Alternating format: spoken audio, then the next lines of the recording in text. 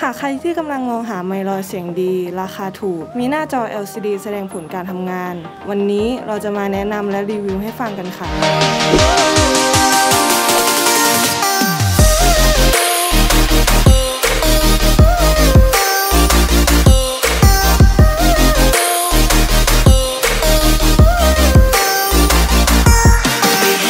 ไม้ที่เรานำมาแนะนำวันนี้นะคะ เป็นไม้ลอยรุ่นโปรพัท KM 585เป็นไม้ลอยชนิดมือถือคู่ราคาไม่แพง แต่คุณภาพเสียงที่ได้ออกมาถือว่าค่อนข้างเสียงดีเลยทีเดียวค่ะ พื่อไม่ให้เป็นการเสียเวลานะคะ เราจะมาเปิดกล่องดูกันว่าข้างในกล่องจะมีอะไรมาให้บ้าง เมื่อเราเปิดกล่องขึ้นมานะคะ ก็จะมีใบคู่มือการใช้งาน ตัวรับสัญญาณ แล้วก็จะมีไมลอยมาให้ 1 คู่นะคะ อันนี้ก็จะเป็นสาย AUX แล้วก็ฐานอีก 4 ก้อนค่ะ มีปลอกกันไมกิ้งมาให้ 2 อันนะคะ แล้วก็จะเป็นเสารับสัญญาณอีก 2 อันค่ะ ต่อไปก็จะเป็นการต่อเสาสัญญาณ ไปที่ด้านหลังของตัวเครื่องรับสัญญาณนะคะ ตัวเสาจะเป็นแบบเกลียว ให้เราหมุนตามเข็มนาฬิกาทั้ง 2 ตัวเลยค่ะในส่วนของตัวไมลอย เราจะใช้แบตเตอรี่ชนิด AA จำนวน 2 ก้อนนะคะ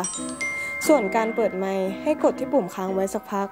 ก็จะเห็นหน้าจอแสดงการทำงานปรากฏขึ้นมาเองค่ะ สำหรับไมลอยยี่ห้อโปรพัทรุ่น KM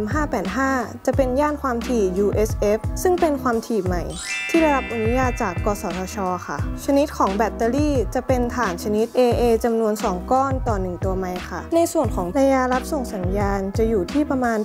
80-90 เมตร ขึ้นอยู่กับสถานที่ที่เราเปิดใช้งาน ไมลอยรุ่นนี้ยังได้รับมาตรฐานผลิตภัณฑ์อุตสาหกรรม หรือมอกด้วยนะคะ ในการต่อสายสัญญาณออกจากตัวเครื่อง จะสามารถต่อได้ 2 แบบ คือแบบแบบหัวโมโนโฟน และแบบ XLR ค่ะสำหรับการต่อแบบ XLR จะสามารถควบคุมและปรับแต่งเสียงของไมค์แต่ละตัวผ่านมิกเซอร์ได้อย่างอิสระ ส่วนแบบโมโนโฟน จะเป็นการรวมสัญญาณเสียงของไมค์ A และไมค์ B ออกที่ช่องโมโนช่องเดียวค่ะ เดี๋ยวเราจะมาลองฟังกันว่า เสียงจากไมค์ลอยโปรพัท KM 5 5จะเป็นยังไง ไปชมกันเลย ทดสอบทดสอบ 1 2 3 นี่คือเสียงจากไมโปรพัท KM 585ค่ะ เป็นยังไงกันบ้างคะสำหรับไมค์ลอย PROPLUS รุ่น KM